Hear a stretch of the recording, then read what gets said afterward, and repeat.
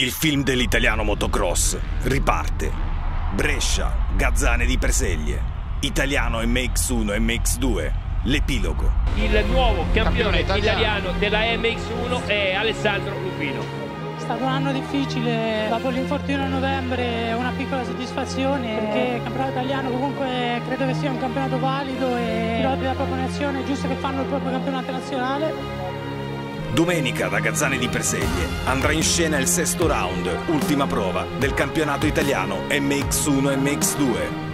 Anche se andavo bene oggi che sono riuscito a vincere tutte e due, ho rimontato, sono riuscito a passare Furlotti, dopo ero anch'io un po' stanchino alla fine e abbiamo lottato, ho avuto la meglio io.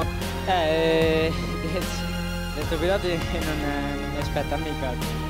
Ho cercato di tenere il ritmo di Ivo che è altissimo. Il cartello dei 5 secondi sta per scattare. Gara 2, campionato italiano motocross.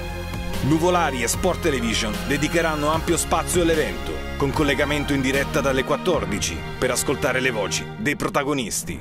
Campionato italiano motocross MX1 MX2, live dalle 14, in esclusiva assoluta su Nuvolari e in diretta streaming su www.sporttelevision.it. Sport Television, ti portiamo il motocross a casa.